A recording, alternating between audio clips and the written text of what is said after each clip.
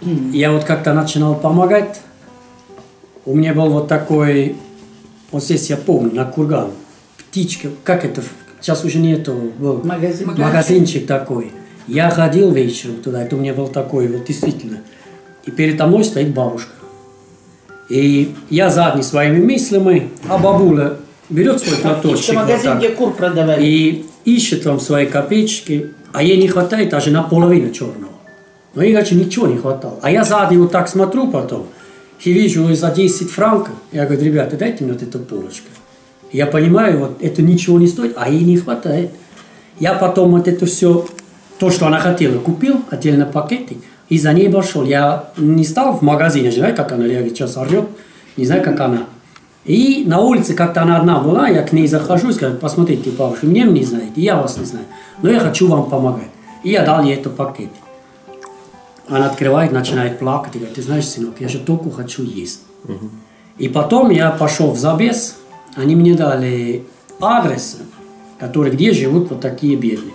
Купил продукты, сначала по магазинам ходил, трудно было, мне надо 10 пачек чая, а там по два, там два, там один, бегал по всей Тарусе. В год я всегда говорю, примерно 15 тонн продукты Ну, мои, наверное, так. плюс-минус, А где вы их берете, то есть покупаете там как? оптовые. Значит, Калиново. оптовые. ну закупаете. Да, покупают. да. Привезут сюда, потом Так. здесь расфасуем. У нас самая большая школа Лопатина Тоже у где-то. нас два варианта продуктов. Это школы, детские И сады сады, и и индивидуальный индивидуальный пакет. Да, индивидуальный пакет. А что в пакет входит? Ну вот, видите, я выкладываю. Все входит в пакет. Что там? Э, Рис, горох, макароны, сахар, чай, мука Бывает пшено, бывает манка. Это э, мы и гречка. Вот соревнования детей-инвалидов. Индивидуальный в Это сами для кого? Это для э, старушки одинокой, для бабушки. Или многодетная семья, вот подспорье, если э, значит, э, малообеспеченная семья и Кому-то детки. полы какой-то бабушки делали. Это в месяц, да, тоже так примерно? Инвалиду. А? Это на месяц войны. такой пакет? Ну, да, на месяц вот мы даем как подспорье. Хоть немножечко, хоть Каких что-то на первый случай. мы помогаем. Но мы забираем секонд-хенд Угу. и выдаваем. У нас вот такой обмен очень хорошо идет, да? Вам не Россия. надо, вы принесли. Мне надо, я забрала. Понятно. Это здорово, действительно. И люди уже знают об этом.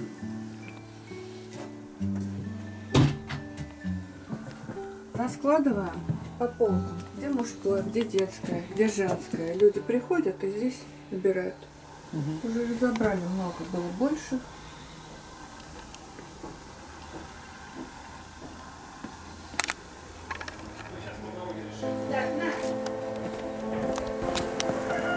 Так, Это тоже вот то, что мне трудно было первое время здесь. Пока я понял вот это все. Русскому, вот, например, дорога, да? Даже никто на это внимание даже не обещает. Ну, конечно, а для вас это ужас какой-то. Для швейцарца это уже, а я уже вот сейчас сам езжу здесь, на меня это по барабану, но я езжу. Уже не, это не самое главное в жизни, что А- здесь сейчас главное. А что для русского главное в жизни? И знаете, для русского это вот, вот как сказать, он живет, русский живет спонтанно. Это никогда швейцарцы не живут. Я приезжаю туда, друзья спрашивают, давайте мы там, например, там, я через полгода буду, 15 что-то сделаю. Один смотрит, нет, 15 сентября, там, следующий год не могу. Что не могу? Ну, у меня там что-то уже. И вот, понимаете, нету, вот спонтанность вообще нет. Вот праздник, я это даже не делаю в алкоголе. Но, смотрите, вот вы пойдете на день рождения в Европу, да? Да. Люди наливают там, скажем, вино и выносят один тост. Ну, за именинник. Все. Большой стол. Эти там по политике, те по спорту, те по еще что-нибудь другое. И все. И скучно. А как в России? О чем мы пришли? Есть что? Объединяет опять все стол. Кто-то поднимает тост. Что-то говорит. Опять круг люди же пришли на это праздник. Вот я даже вот то, что я сейчас говорю, я повторяю русского человека, который в Германии приглашали на день рождения. Он говорит, так скучно было. Я говорю, я тебя понимаю. Не много так, но не говорю, что это плохо. Для них это так нормально. Пусть так. Но наша Может- спонтанность приводит к каким дорогам? Спонтанность, например, можно кому-то в гости ходить спонтанно. Можно, вот я сейчас тоже возил дрова, бабушка, я подарю дрова. Дом немного, сейчас видите, мы пилим лес.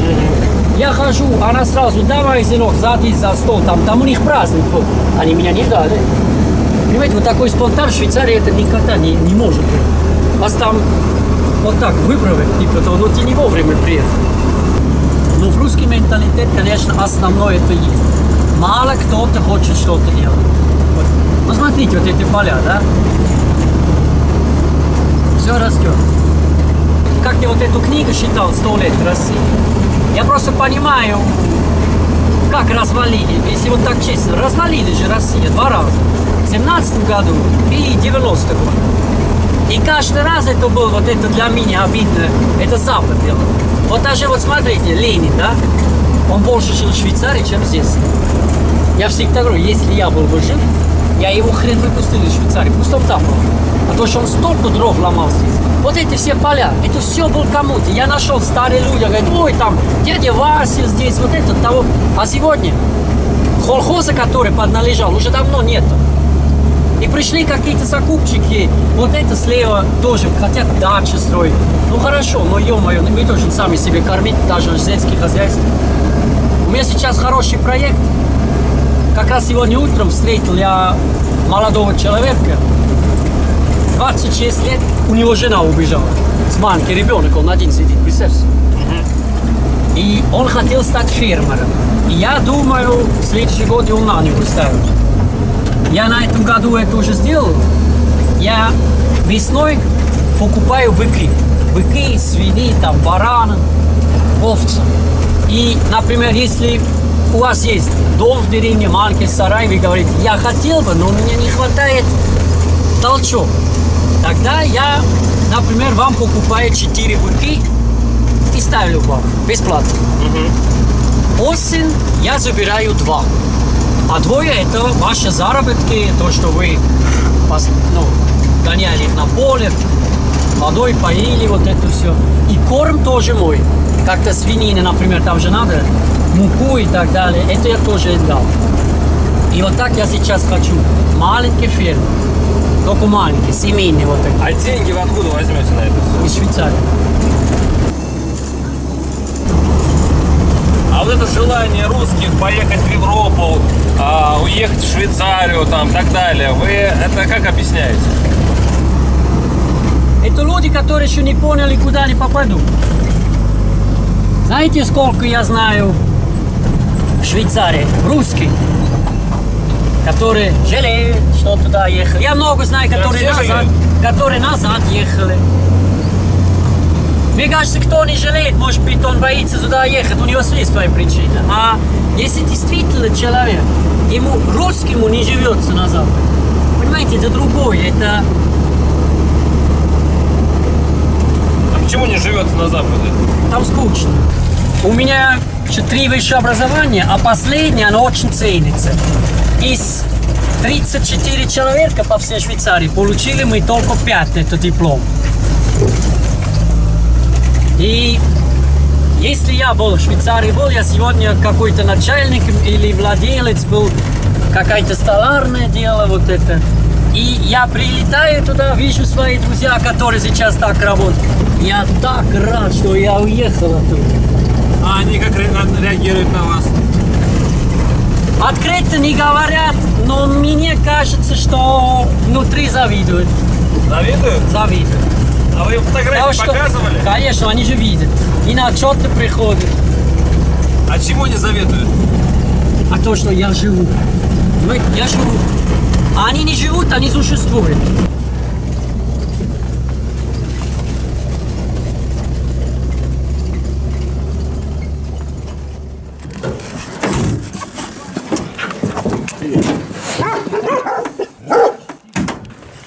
Вот приехали мы на наше хозяйство.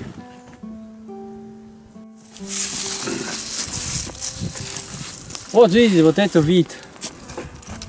Вот четыре такие дома. Вот это дом. вот который я купил потом. Все остальные сам строил. Четыре года сейчас. Это курятник, это сарай.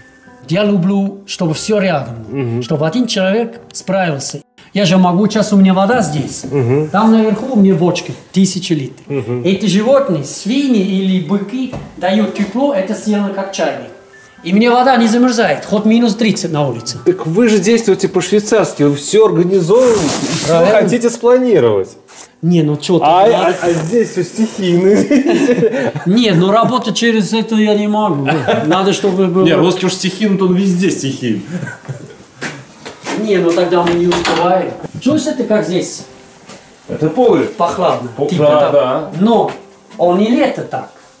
А почему? Строительная физика, учились когда-то. Ага. Я вот так сделал, что и зимой там уже замерзло все. Здесь долго не замерзает. Там где-то к концу февраля начинает замерзнуть здесь. А как это получается?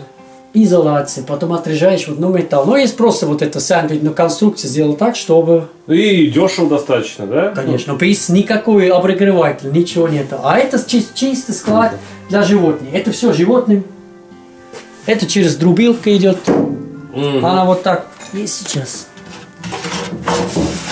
Ну, друбит вот так мелкий, например, свекла.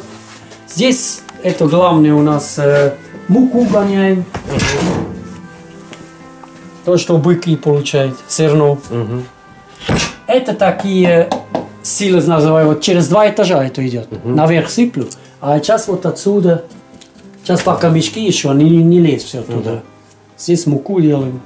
И все рядом. Не надо, лишний шаг не надо делать. Там такой металлический цех. И сварочный аппарат, и, ну все, что нужно. Там столярный у нас цех. Пила, все, что нужно. Здесь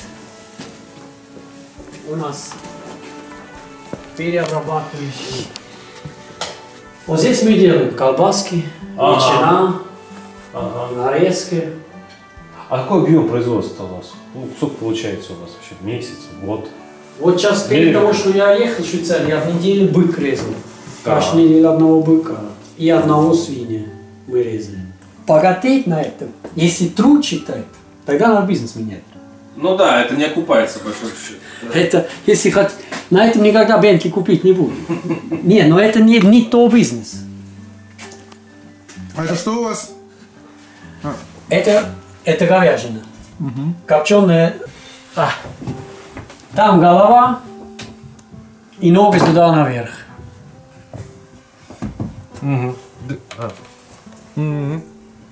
И вот здесь по штабелям 5-6 человек могут вот лежишь и ноги можешь наверх и балдеешь. И отдыхаешь. А вот здесь моется. Ну, может здесь и на. Просто мы любим. И нет электричества. Потому что, чтобы не был электросмог, вот это у нас и в комнате у нас нет электрической. Вот здесь на керосине ламп, ну вот это лампочки, свечки.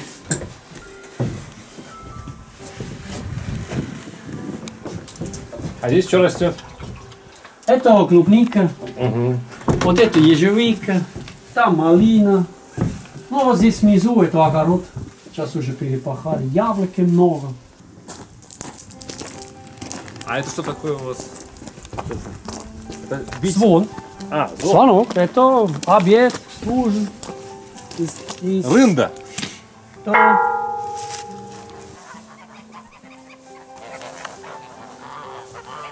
Не каждый может здесь жить. Не каждый может. И еще раз, вот, в первую очередь надо не думать на себе, а на общее. Я всегда, а как-то все хорошо живут, тогда я живу хорошо. Вот здесь. Мы все вместе. Вот Советский нас- принцип. Вот все, которые здесь сейчас находятся, они все понимают, если мы же все в одной лодке. Вы сами сейчас метаетесь между двумя вещами. Вы сначала хвалите то, чем потом, чего то потом ругаете, и навязываете те швейцарские порядки, которые, в принципе, вам уже и скучны. Есть чуть-чуть. Но у нас здесь тоже не все идеально.